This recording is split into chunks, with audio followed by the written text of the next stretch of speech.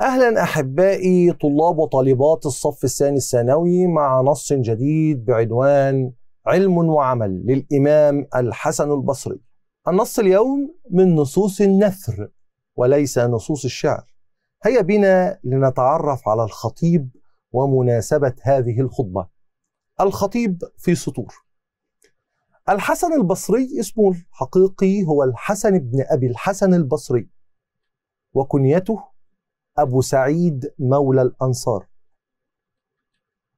مولده كان سنة 21 هجرية بمدينة البصرة في العراق. وعشان كده إحنا بننسب ليه كلمة البصري. يعني هو لقب أو اسمه اتحط فيه كلمة البصري لأنه اتولد في مدينة البصرة في العراق. شهرته وأعماله هو من زهاد ذلك العصر. عرف بالتقوى والدعوة إلى الله. وكان عالما عاملا بعلمه يعني مش مجرد عالم بس بيألف كتب أو بيدعو الناس للهداية والزهد لا هو كمان كان بيعمل بما يقول. وكان من العلماء الفقهاء الخطباء في مسائل علم التوحيد يعني هو فقيه بنرجع له في بعض الأصول الفقهية أو بعض المسائل الفقهية. وكان يلقي دروسه في مسجد البصرة وظل إماما لأهل السنة حتى وفاته. من تلاميذه أو من أشهر تلاميذه واصل بن عطاء وده أحد أشهر الخطباء في ذلك العصر. وكشيء فكاهي كده واصل بن عطاء شخص كان ألدخ في حرف الراء كان ما بيعرفش يقول حرف الره فمن أشهر الحاجات عن واصل بن عطاء إن هو قرر إن ينطق كل الكلمات بدون حرف الراء وظل أربعين عام لا يستخدم حرف الراء. من أشهر خطب واصل بن عطاء حينما قال الحمد لله القديم بلا بداية والباقي بلا نهاية الذي دنا في علوه وعلى في دنوه. لو ملاحظين هو قرر ما يستخدمش حرف الراء خالص. وفي قصة فقهية تاني عن واصل بن عطاء إن الخليفة على المنبر أثناء وجوده على المنبر بعت له رسالة يقراها. فكان الرسالة مضمونها أمر أمير الأمراء بحفر بئر في الصحراء ليشرب منه الفقراء. فبصوا المهارة اللغوية. هرب واصل بن عطاء بذكاء شديد وراح قايل إيه؟ حكم حكيم الحكماء بشق عين في البيداء ليسقي منها المساكين. عشان يهرب من حرف الريح خالص.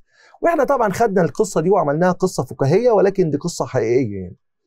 واصل بن عطاء ده بقى اختلف مع الشاعر بتاعنا أو الخطيب بتاعنا هو الحسن البصري في الرأي حول مرتكب الكبيرة. مسألة فقهية. واعتزله. يعني خد جنب كده وقال له أنا مش مش همشي معاك على نفس النهج بعد كده. فقال الحسن البصري اعتزلنا واصل. فلقب هو وأتباعه بالمعتزلة. عمل فرقة كبيرة كده. كل الناس بقى اللي انضمت لواصل بن عطاء بقى اسمهم المعتزلة. وفاة الحسن البصري 110 هجرية. مناسبة النص. النص خطبة. خطبة وعظية. تبين مدى احتياج الإنسان إلى التحلي بشمائل الإيمان أي الصفات الإيمانية أو الأخلاق الحسنة. لأن شمائل بمعنى أخلاق. ومنها اقتران القول بالعمل إني تقول اللي تعمله أو تعمل اللي تقوله يعني ما يبقاش كلام بس وخلاص.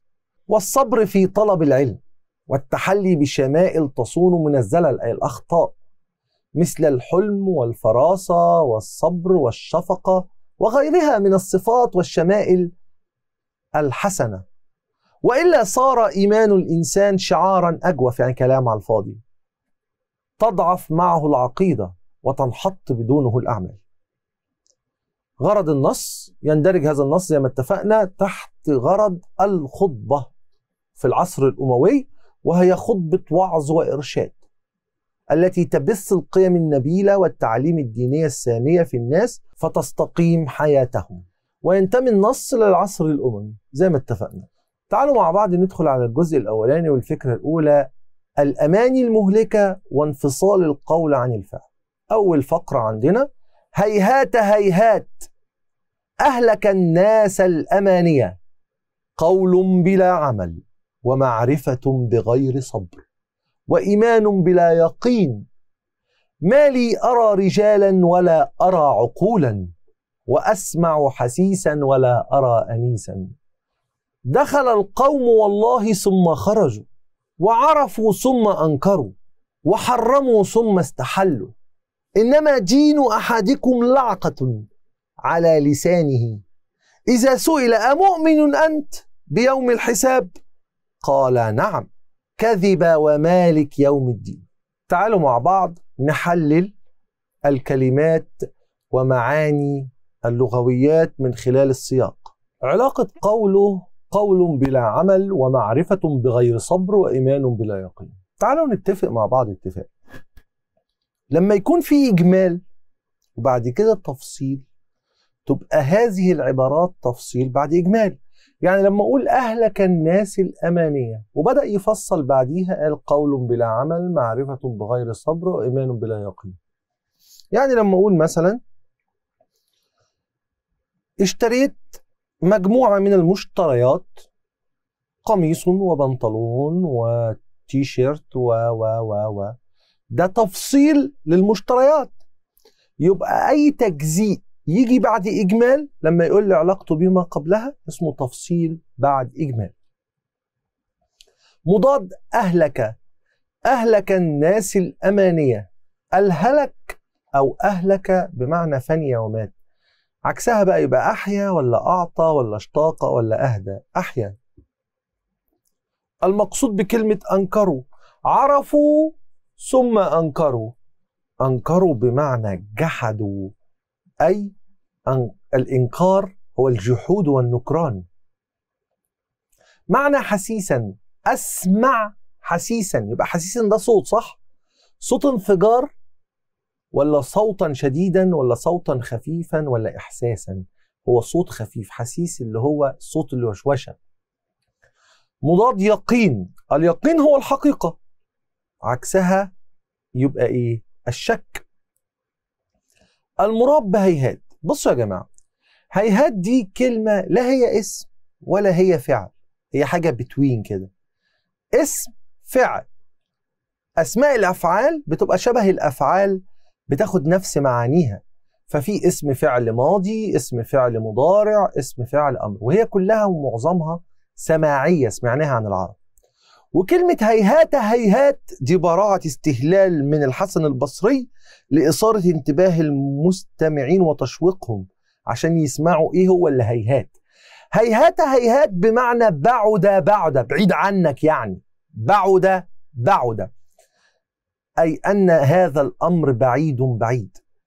المراد بكلمة هيهات بعد وهي اسم فعل ماضي. يعني لا هي اسم ولا هي فعل هي حاجة جديدة اسمها اسم فعل ماضي من خلال فهمك للخطبة بين ما حذر منه الحسن البصري وما تعجب منه وما استنكره. والله هو الحسن البصري في هذا الجزء قدم مجموعة من التحذيرات وقدم تعجبا واستنكارا. حذر الحسن البصري من الأماني المهلكة. ففي هذا الجزء يبين البصري أنه لم يهلك الناس إلا أمنياتهم في النجاة رغم عدم عملهم. يعني بيتمنوا أنهم ينجوا ولكنهم ما عملوش أي حاجة.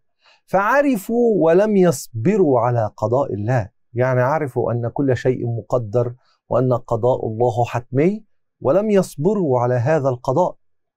وآمنوا بالله ولكن بلا يقين تام.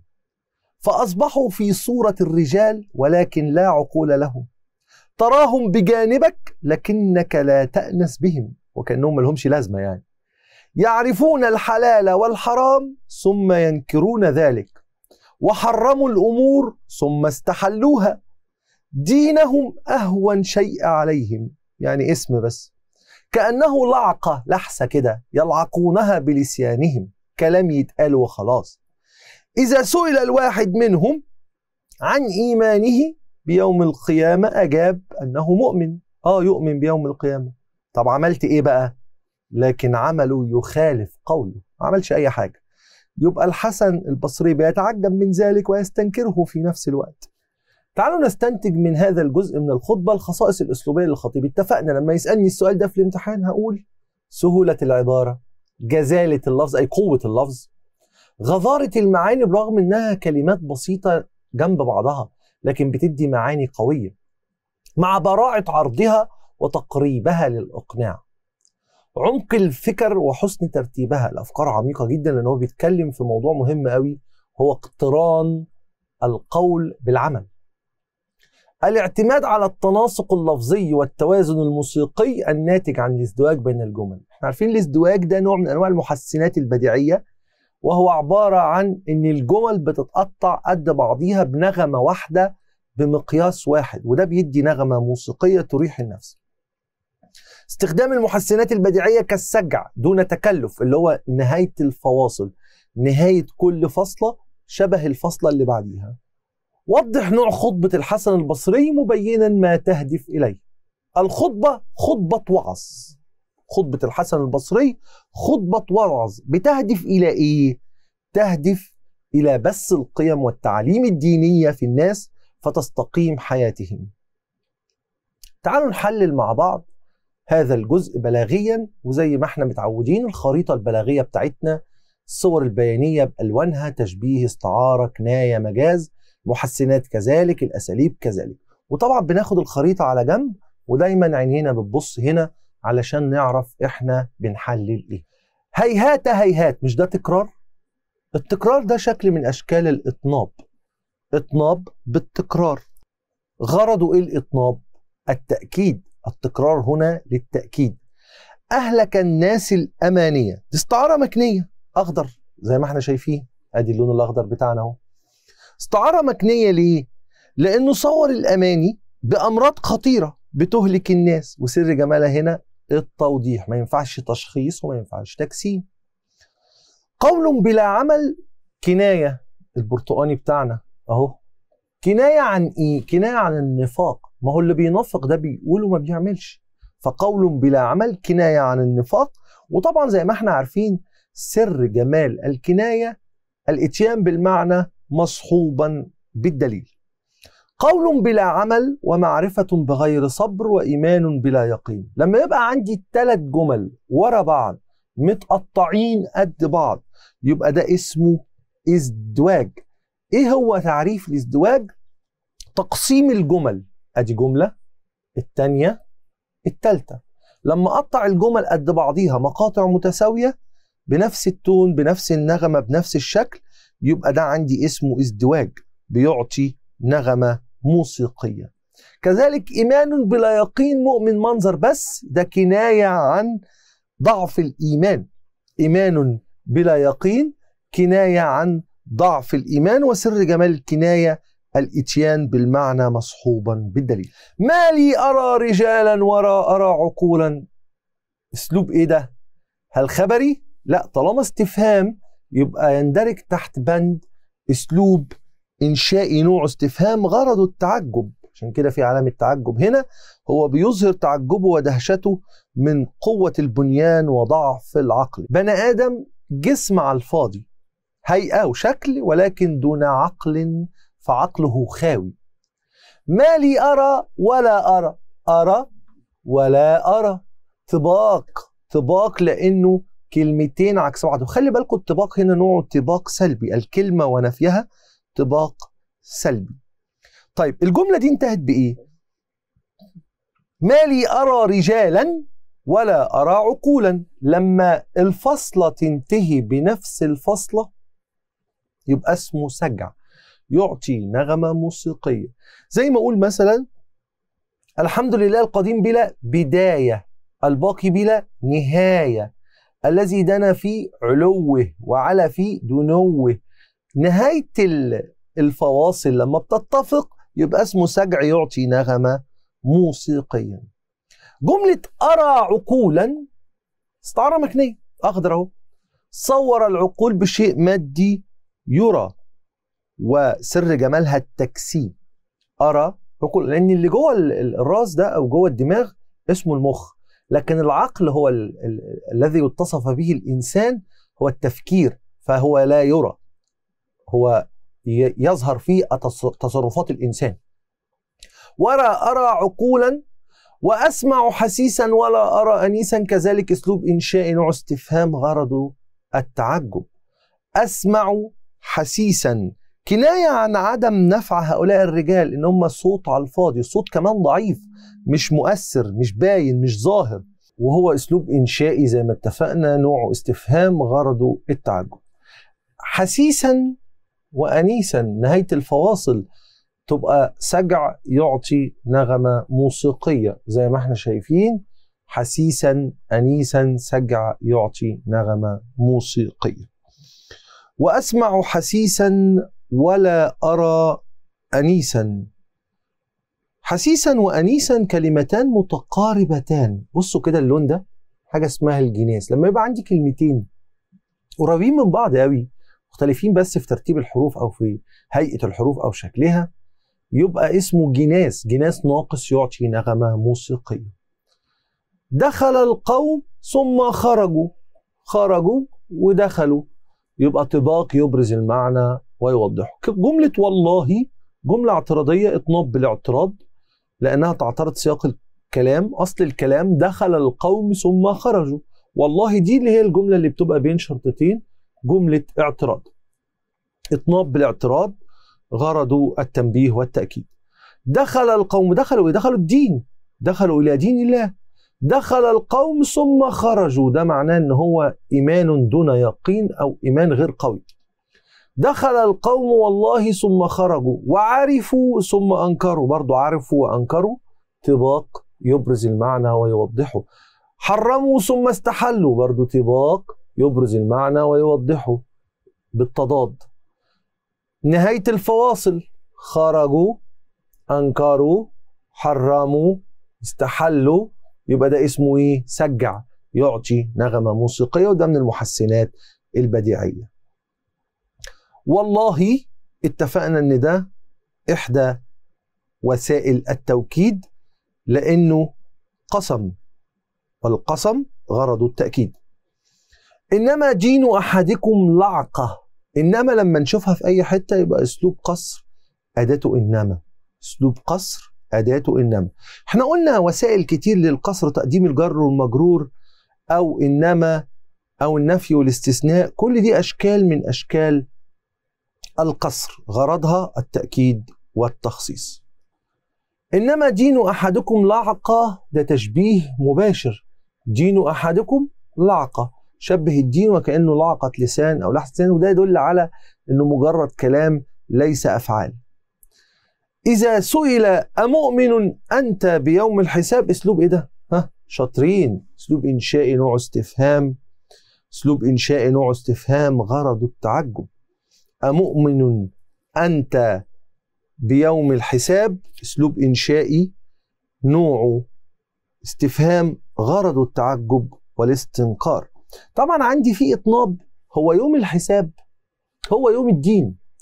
فده اسمه إطناب بالترادف غرضه التأكيد.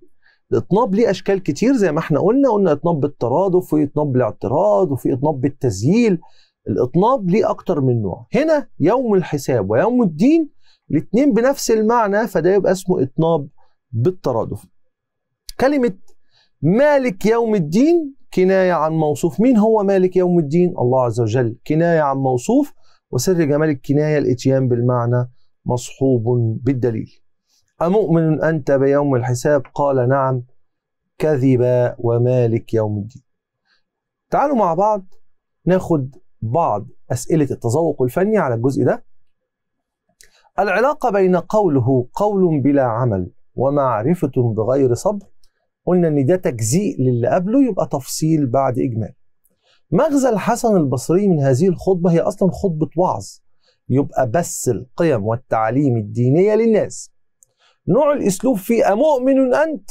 ده استفهام والاستفهام يندرج تحت الإنشائي نوع المحسن البديعي بين عرفوا وأنكروا وحرموا واستحلوا. كلمات كلها عكس بعض يبقى طباق يبرز المعنى ويؤكده.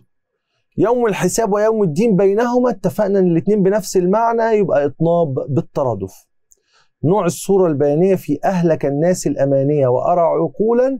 الاثنين استعارة مكنية صور العقول بشيء مادي يرى وصور الأماني بوحش أو مرض أو داء يهلك الإنسان. الجزء الثاني من درس علم وعمل للإمام الحسن البصري بعنوان من أخلاق المؤمن.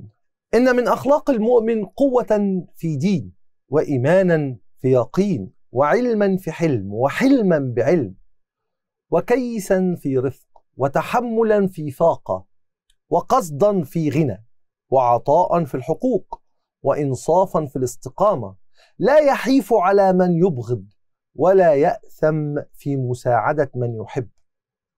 لا يهمز ولا يغمز ولا يلمز ولا يلغو ولا يلهو ولا يلعب ولا يشمت بالفجيعة إن نزلت بغيره ولا يصر بالمعصية إذا نزلت بسواه.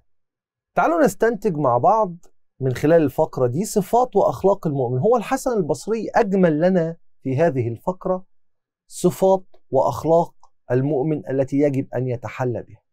من أخلاق المؤمن قوة في دين أي قوي في دينه وإيمان بالله كله يقين يعني يؤمن بالله إيمانا صادقا. وعلم مع الرفق بالناس يعني لديه علم ويرفق بالناس في المعاملة. هذا الرفق الذي لا يكون في موضعه فيكون عن علم يعني مش مجرد رفق وخلاص يعني معلش كلمة معلش اللي إحنا بنستخدمها كتير دي لأ هو رفق في موضعه. فيكون الرفق بشيء من العقل والذكاء. ومن أخلاق المؤمن أيضا أنه يتحمل الفقر ولا يسرف في الغنى ويعطي الحقوق لأصحابها ويعدل بين الناس. بيظلمش حد. لا يظلم أحدا ولو كره يعني حتى لو أجبر على ده. لا يعيب الناس بالقول أو الإشارة يعني مش تمشي حد ما بيسبش حد ما بيسئش لحد بلسانه. ولا يضيع وقته في لهو أو فيما لا يفيد من الكلام فهو يستغل وقته استغلالا جيدا. ولا يشمت إن رأى المصيبة قد نزلت بغيره ما بيشمتش في حد. ولا يفرح إن رأى أحدا على معصية. يعني لا يفخر بالمعصية ولا يصيبه السرور في حالة وجود معصية. استنتج من خلال الفقرة السمات الشخصية للخطيب. واحد بيقدم الوعظ ده كله والنصح ده كله فلازم نقول عليه فقيه عالم حكيم عاقل مجرب سامي الخلق يقدم مواعظ أثناء خطبه في لين ويسر دون زيادة في الكلام. يعني راجل بيقدم النصيحة في أقصر أسلوب لها. تعالوا نفسر مع بعض بعض المعاني. اتفقنا إن علاقة قوة في دين ايمان في يقين وعلما في حلم كل ده تفصيل بعد إجمال. مضاد حلم في الفقرة إيه هو الحلم؟ وعلما في حلم. مضاد حلم حمق وتهور. لأن حلم بمعنى عقل وعلما في حلم أي في عقل. كن ذو حلم أي ذو عقل عكسها حمق وتهور. المقصود بكلمة يحيف. لا يحيف على من يبغض. الحيف هو الظلم فهو لا يظلم من يكره. يعني واحد بيكره واحد فمش عشان بيكرهه يظلمه لا. هو عادل شخص عادل. معنى الفجيعة مصيبة. الفجيعة هو الأمر الغير واقع مصيبة. جمع فاقة فاقات والفاقة هو الفقر. الفاقة هي الفقر. المربي يغلو يبالغ يعني لا يلغو. يتشدد ولا يبالغ ولا يجاوز الحد. تعالوا نحلل مع بعض الجزء ده لغويا وبلاغيا. إن من أخلاق المؤمن قوة في الدين وإيمانا في يقين وعلما في حلم. وحلما بعلم بصوا نتفق مع بعض نهاية الفواصل دين يقين حلم علم. ده اسمه سجع يعطي نغمة موسيقية إحدى المحسنات البديعية كذلك تقطيع الجمل لمقاطع متساوية علما في حلم وحلما بعلم. ده اسمه ازدواج. ازدواج أيضا يعطي نغمة موسيقية وهو تقسيم الجمل لمقاطع متساوية. كيسا في رفق. دي كناية. كناية عن إيه؟ كناية على إن المؤمن عنده حكمة في التصرف في الأمور لأن الكياسة هي فطنة هي ذكاء. كيسا في رفق أي شخص عنده فطنة وذكاء. كناية عن صفة وهي الحكمة في تصرف الأمور. كيسا في رفق وتحملا في فاقة وقصدا في غنى. كل ده عندنا حاجة مهمة قوي إن هو قطع الجمل قد بعضيها. ده عندنا اسمه ازدواج. تقطيع الجمل بأشكال متساوية اسمه ازدواج. كيسا في رفق وتحملا في فاقة وقصدا في غنى. فاقة اتفقنا يعني فقر عكسها غنى. يبقى طباق يبرز المعنى ويوضحه. طباق يبرز المعنى ويوضحه. لا يحيف على من يبغض ولا يأثم في مساعدة من يحب. الجملتين عكس بعض. لا يحيف على من يبغض ولا يأسم في مساعدة من يحب. يعني ما بيظلمش الشخص اللي بيكرهه ولا بيحابي للشخص اللي بيحبه. فدي مقابلة جملة عكس جملة. لا يحيف أيضا كناية عن العدل إن هو شخص عادل. ما بيظلمش حد حتى لو كان بيكرهه. كل الكلمات اللي بعد كده لا يهمز لا يغمز لا يلمز لا يلغو لا يلهو. كل ده كناية عن عفة المؤمن وتقواه. وعن تعدد صفاته العظيمة. وكلمة يغمز ويلمز ويلغو ويلهو كلها سجع يعطي نغمة موسيقية. ولا يشمت بالفجيعة. ازدواج أيضا وكناية عن مروءة المؤمن وحسن أخلاقه. لا يشمت بالفجيعة أنه شخص محترم يعني ما بيشمتش في غيره. والجملة دي والجملة دي ما بينهم ازدواج يعطي نغمة موسيقية وكناية عن مروءة المؤمن وحسن أخلاقه. تكرار النفي الكثير ده لا لا لا لا. في الفقرة يفيد التأكيد على حسن أخلاق المؤمن وصفاته العظيمة. نخش مع بعض على التذوق الفني للفكرة الثانية. جمع فجيعة فجوع فواجع فجائع. فجيعة شبه كلمة طبيعة طبيعة الطبائع. يبقى فجيعة فجائع وفواجع أيضا. الفكرة الرئيسية في الفقرة هو بيتكلم عن أخلاق المؤمن وصفاته ولا الإيمان واليقين ولا الذكاء والفطنة ولا الاستقامة وأثرها. لا أخلاق المؤمن وصفاته. نوع الأسلوب فيه إن من أخلاق المؤمن نداء للتنبيه مفيش نداء. أمر للنصح استفهام للتعجب مؤكد بإن أسلوب مؤكد أدوات التوكيد عندنا إن وقد ولقد. نوع المحسن البديع بين وإيمانا في يقين وعلما في حلم. ده تقطيع الجمل قد بعضيها مقاطع متساوية. يبقى اسمه إيه؟ مقابلة تصريع ازدواج طباق. نوع الخطبة اتفقنا إنها خطبة وعظ مش سياسة ولا اجتماع ولا حفلية. نوع الصورة البيانية في لا يحيف على من يبغض. كناية. كناية عن إيه؟ عن عدل المؤمن وعن صفاته الحميدة فهو لا يظلم من يكره. الصورة البلاغية في قوله لا يهمز ولا يغمز ولا يلمز أيضا كناية كناية عن تعدد صفات المؤمن وحسن أخلاقه. ماذا أفاد العطف بين الجمل؟ إحنا اتفقنا. لما بيجي لي سؤال العطف ده لو هما حاجات مختلفة يبقى تعدد وتنوع لو هما حاجة متفق عليها أو حاجتين زي بعض يبقى التأكيد. وهنا تعدد وتنوع الصفات والأخلاق التي يتحلى بها المؤمن. بيجي لي سؤال مهم قوي بيقول لي عرف أسلوب الحسن البصري بالسهل الممتنع. يعني إيه الجملة دي؟ وإيه سمات الأسلوب ده؟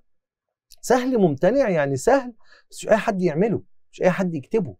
لأن أنت لو قريت الكلمات هتلاقيها جمل قصيرة قوي جنب بعضيها بس مش أي حد يحط الكلام ده جنب بعض الأسلوب السهل الممتنع اللي بيتميز به الحسن البصري هو الذي يراه الجاهل فيظن أنه يستطيع أن يقول مثله.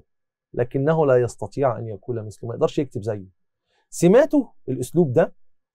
سهولة العبارة حتى توشك ألا تحتاج إلى شرح كأن أنت مش عارف تحط شرح ليها هي مشروحة هي عبارة شرح نفسيها.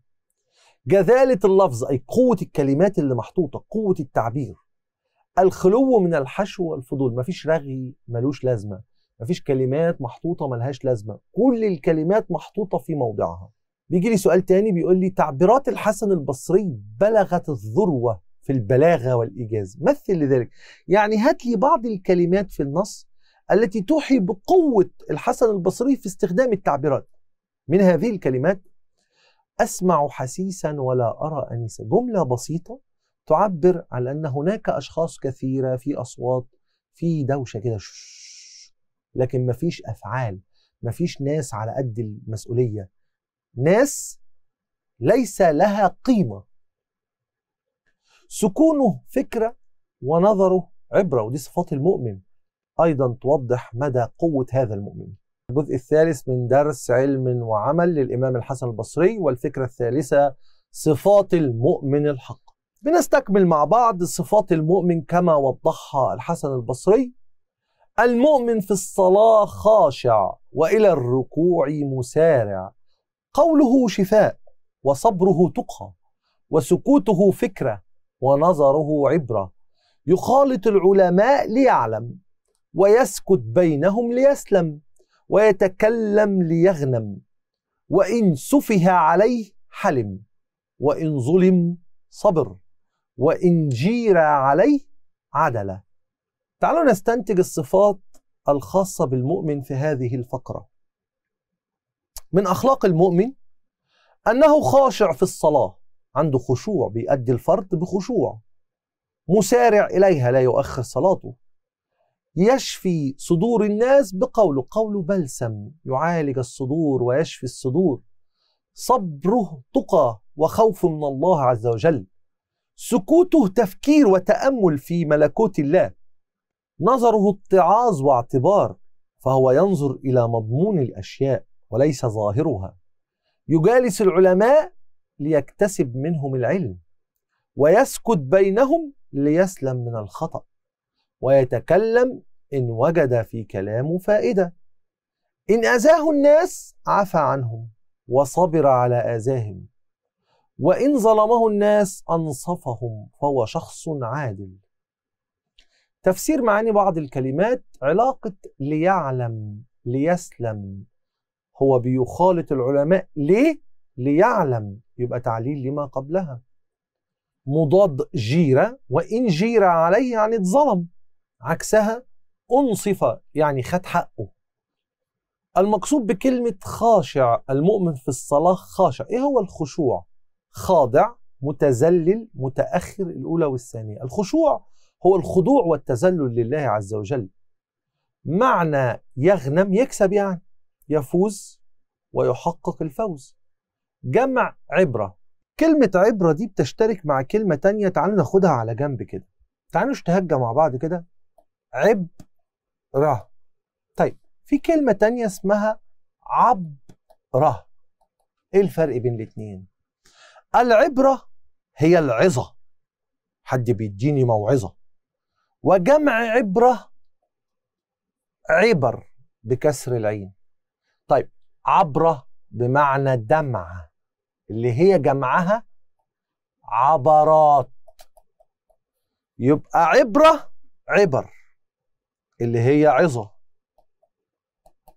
وعبرة اللي هي دمعة جمعها عبرات. عشان نبقى بس فاهمين الفرق بين الاثنين وهنا أكيد هو استخدم كلمة عبرة. يبقى جمع عبرة. عبرات ولا عبور ولا أعبار ولا عبر؟ عبر. المراد بسفه عليه. إيه المقصود بسفه عليه؟ حد أذاه يعني. تعرض لطيش حد ضايقه. حد ضعيف العقل أصابه بالسفه. تعالوا نحلل الجزء ده بلاغيا. المؤمن في الصلاة خاشع وإلى الركوع مسارع. المؤمن ده مبتدأ. فين الخبر بتاعه؟ خاشع. يبقى في جر ومجرور هنا.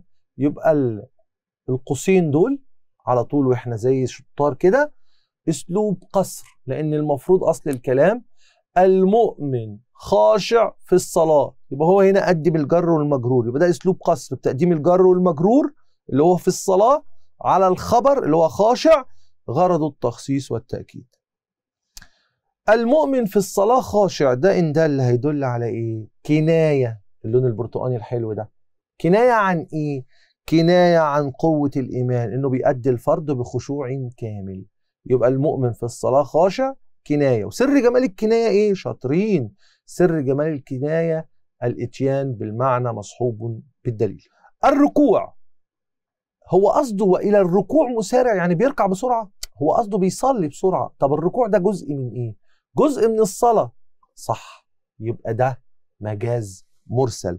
مجاز مرسل عن الصلاة يبقى كلمة الركوع دي؟ مجاز مرسل وده أحد الصور البيانية. مجاز مرسل عن الصلاة علاقته جزئية هو قال الجزء وأراد الكل. قال الجزء اللي هو الركوع لكن هو قصده الصلاة كلها. طب سر جمال المجاز إيه؟ الإيجاز والدقة في اختيار العلاقة الإيجاز والدقة في اختيار العلاقة المؤمن في الصلاة خاشع وإلى الركوع مسارع. اتفاق نهاية الفواصل. سجع. يعطي نغمة موسيقية. اتفاق نهاية الفواصل. سجع. يعطي نغمة موسيقية. وده أيضا بيدل على قوة إيمان هذا المؤمن.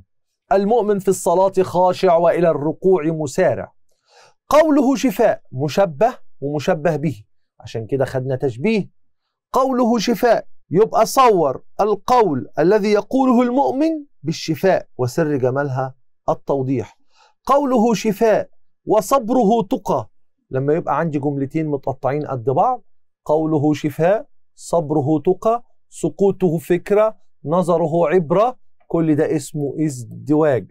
يعني ازدواج تقطيع الجمل قد بعضيها مقاطع متساوية تعطي نغمة موسيقية تطرب الأذن. فكرة وعبرة أيضا فكرة عبرة. أيضا سجع يعطي نغمة موسيقية. سجع يعطي نغمة موسيقية. يخالط العلماء. ليه؟ ليه؟ ليعلم. يبقى تعليل لما قبلها. وليعلم. ليسلم. ليغنم. سجع يعطي نغمة موسيقية. اتفاق نهاية الفواصل. سجع يعطي نغمة موسيقية. طب ليعلم ليسلم. الفرق بينهم حرف واحد تقريبا. بص حرف العين ده يبقى ده اسمه جناس ما بين إيه وما بين إيه؟ ليعلم وليسلم. جناس ناقص يعطي نغمة موسيقية تطرب الأذن. لما يبقى عندي كلمتين شبه بعض أو مختلفين في حرف ولا حاجة يبقى ده اسمه جناس يعطي نغمة موسيقية. يسكت بينهم ليسلم. مين ده؟ المؤمن. لما بيقعد مع العلماء بيسكت عشان ما يقعش في غلط. يبقى ده كناية عن إيه؟ يسكت بينهم ليسلم كناية عن تقديره للعلم والعلماء. هو فاهم قيمة الموقف اللي هو فيه وفاهم أهمية العلم فعايز يقعد يتعلم. طب يسكت ويتكلم. بص كده. يسكت يتكلم. ده إيه يسكت ويتكلم؟ ده طباق يبرز المعنى ويؤكده. طباق إيجابي لأنه كلمة وعكسها. وإن سفه عليه حلم. دي كناية عن تعقل المسلم.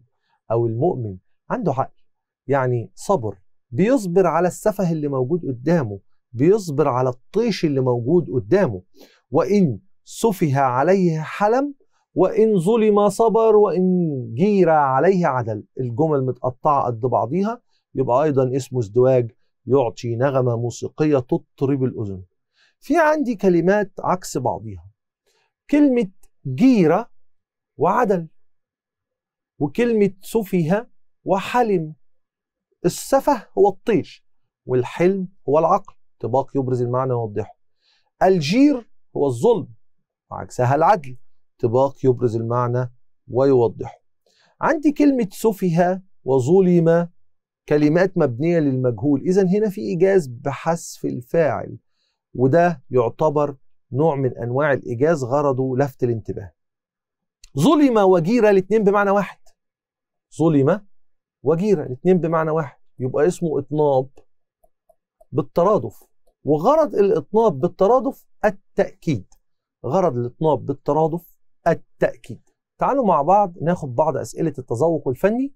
مضاد يغنم. قلنا يغنم يكسب. عكسها يخسر يغرم يهزم. الأولى والثانية. الأولى والثانية لأن الإنسان الذي يكسب عكسها يتغرم أو يغرم. وعكسها يخسر. الفكرة الرئيسية هنا أخلاق وصفات المؤمن لأن هي الفكرة كلها الرئيسية في الخطبة أخلاق المؤمن وصفاته. نوع الأسلوب في المؤمن في الصلاة خاشع قلنا هنا في تقديم جر ومجرور. أصل الكلام المؤمن خاشع في الصلاة. يبقى ده قصر للتأكيد. نوع المحسن البديع بين وسكوته فكرة ونظره عبره والله بص هو في اتنين هنا. أنا أقدر أقول إن بين الجملة دي والجملة دي ازدواج. واقدر أقول ان فكره وعبره سجع. أشوف الاختيارات اللي قدامي. قال لي مقابله تصريع ازدواج طباق يبقى الاختيار اللي قدامي ازدواج. الركوع كلمة الركوع قلنا ده جزء من كل. يبقى ده اسمه مجاز مرسل.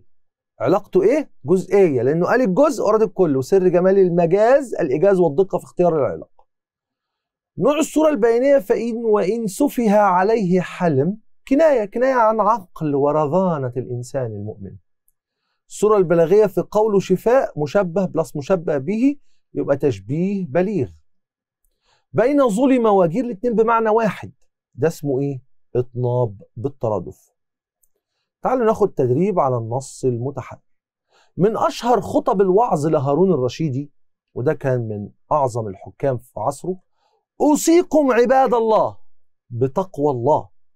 فإن في التقوى تكفير السيئات ومضاعفة الحسنات وفوزا بالجنة ونجاة من النار وأحذركم يوما تشخص فيه الأبصار وتبلى فيه الأسرار يوم البعث ويوم التغابن ويوم الطلاق ويوم التنادي يوم لا يستعتب من سيئة ولا يزداد في حسنة يوم الآذفة إذ القلوب لدى الحناجر قاذمين ما للظالمين من حميم ولا شفيع يطاع يعلم خائنة الأعين وما تخفي الصدور. واتقوا يوما ترجعون فيه إلى الله ثم توفى كل نفس ما كسبت. أول سؤال عندنا الفكرة الرئيسية للخطبة لاحظ إن هو قال لك من أشهر خطب إيه؟ الوعظ. يبقى هو أكيد هيقدم مجموعة من النصائح. تقوى الله طريق الجنة؟ آه حلوة دي.